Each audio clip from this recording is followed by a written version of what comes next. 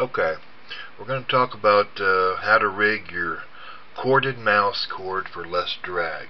So the issue is, is if you look at the mouse here, I have a Mamba, and there are some things you can get with Mamba, and I did a video before uh, where we actually put a um, a clothespin, and I'll uh, have a link for that video, but we actually put a clothespin on the uh, on the charger here, the Mamba, like that and uh, hold the cord that way. But in this case, I don't really have a whole lot of room.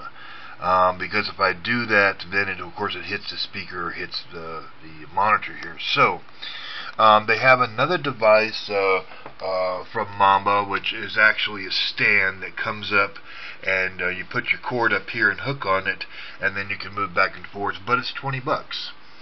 If you don't have 20 bucks, or if you don't want to spend 20 bucks on just a simple hanger, so here's a cheap man's version, and it works actually quite well. Um, and I'm not an engineer or anything, but uh, took me a couple minutes. I kind of figured it out. So what you do is, is I'll take it apart here. Is you take a piece of uh, take a piece of cardboard, and as you can see, I just cut a little slot. You can see I cut a little slot right there. Okay. Uh, it looks like an L. And then on the other side, and it's kind of angled.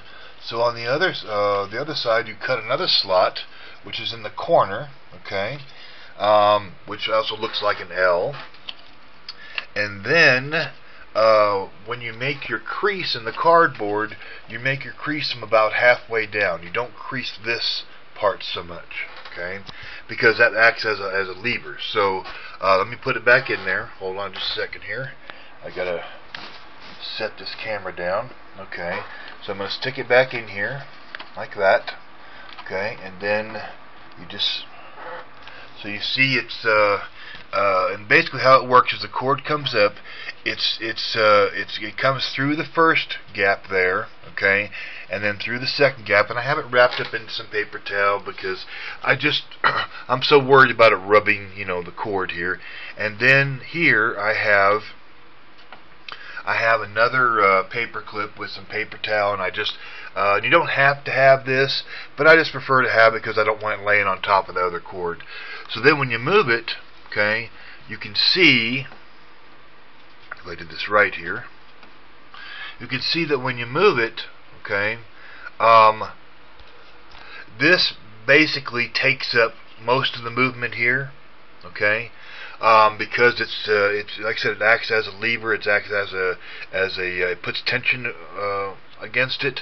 So and then and then this takes up the rest of the slag. So this part of the cord down here doesn't move, okay, all right. He doesn't move. It's just this part here, uh, and this part right here moves just a little bit, but this part down here doesn't move at all. Okay, and then of course you know you can you can move it like this, and it all works perfectly. Okay, and it saves you it saves you from spending twenty dollars. Um, and the other thing is, is that when you want to put it in your charger, you just unplug it here and put it in your charger, and the cord is long enough, and then you can do your mouse however. Mean, you can move it around without the cord. So um, that's the cheap man's version, and uh, uh, I thank you very much for watching, and I hope that. Uh, oh, by I want, did want to mention the piece of cardboard that I used uh, actually was the back side of this notepad here. I just used the cardboard that was on the on the back side of it. Okay.